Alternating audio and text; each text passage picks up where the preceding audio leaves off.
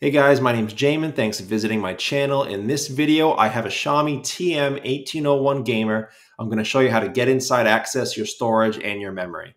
So first thing you want to do with any computer operation, turn your computer off, make sure it's powered down correctly, unplug your charger. We're going to flip it over to access your screws. Uh, we have these four screws down here on the bottom. We got these four screws on this top grate, and they snuck one in on us right here under this rubber foot. So you've got to get that rubber foot up. I prefer taking all of them up because these two end pieces fit inside this one.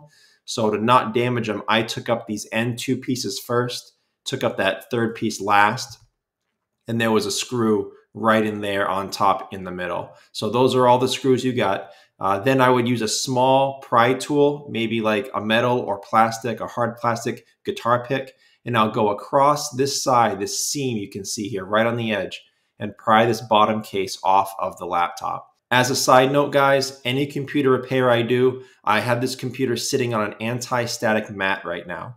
Either that or an anti-static bracelet are great ideas to limit the chances of hurting anything when you're poking around inside your computer. If you need any help with tools or supplies, there'll be a link above.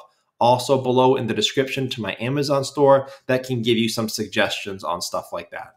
After you remove your bottom case, this is what you're looking at for the inside of your computer. Also, with any repair I do in a computer, the first thing I do is remove your battery because again, we're trying to get as little power running through this as possible to avoid damaging anything as we're touching it. So to remove your battery, what you want to do is remove this screw here, this screw here, and this one there. And those are the three screws that hold this battery in. And then as you can see, the battery wire, oh, I'm sorry, there's a screw right here too. I forgot that one. Uh, this wire comes up and plugs into the motherboard right here. Now, instead of just grabbing the battery and pulling it out or grabbing the wire and pulling it out, make sure you go after the plug only so you don't damage the wires. So you can grab these end tabs for the plug with your fingernails or a pry tool and jimmy that out, or you can put a pry tool right there in that center grip and push it out, but don't don't pull on your wires. After taking the battery out, this is your hard drive and your solid state drive. So the M2 port right here fits in very simply. This is the port that it slides into, and there's a single screw that holds it down. So to replace it, you would undo that screw and you would slide it out of that port. This hard drive down here is held in by this screw on top, this screw on the bottom. Once those screws are removed, you can slide this to the left away from this port that it plugs into to release your hard drive.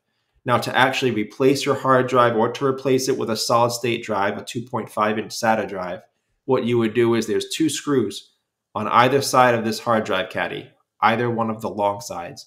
You would undo those four screws, the hard drive would come out of the caddy, you would put the new one into the caddy. Now the RAM is held under this little box right here. So I, I put a small pry tool right here in the corner and pop this box up. And these are your two RAM sticks for this computer. And they're held in by two metal arms that are spring loaded on either side. What you would do is you would pry those metal arms apart very gently to release the RAM stick. In most cases, it'll even pop up a little bit and then you can slide your RAM out of that port right there. So that's the video. I hope it was helpful. If you have any questions, check out the FAQs below in the description. It could save you some time getting an answer. But if you do need to leave me a question or comment, please do. I do try to get to those a couple times a day at least. Also, check out the related links below in the description. I try to add things in there that can help you in your computer world from time to time. Thank you so much for watching. I look forward to seeing you on my next video.